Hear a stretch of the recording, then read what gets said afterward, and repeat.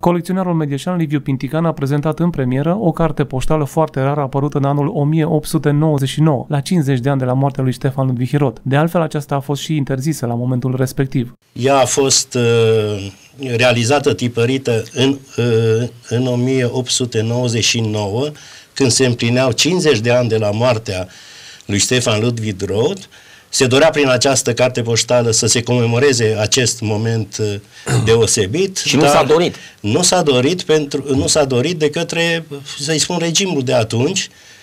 Uh, au fost niște acțiuni foarte energice împotriva celor care au avut această inițiativă. În primul rând, uh, Franz Obert, apoi Reisenberger, care a fost editorul, cunoscut da, editor cunoscut din media. și librar. Nu? Și librar, și, librar, și, dar și uh, Dretlev, un tipograf din Sibiu, care de fapt efectiv le-a tipărit.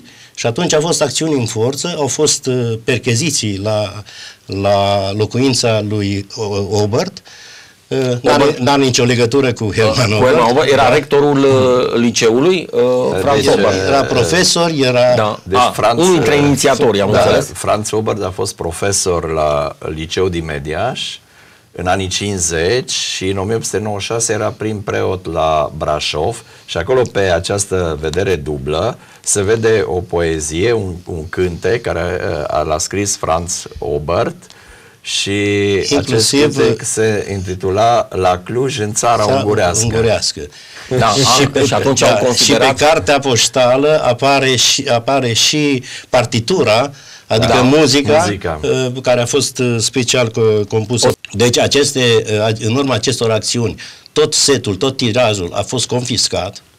Și cum ați făcut rost Iniția, de... nu mai văd, da. inițiatorii s-au adresat justiției, odată justiției din Mediaș, n-au avut câștig de, de cauză, cauză, au făcut apel la Curtea de Craiască de Apel din Sibiu și nici acolo nu li s-a dat uh, dreptate și a rămas definitivă hotărârea ca ele să fie confiscate.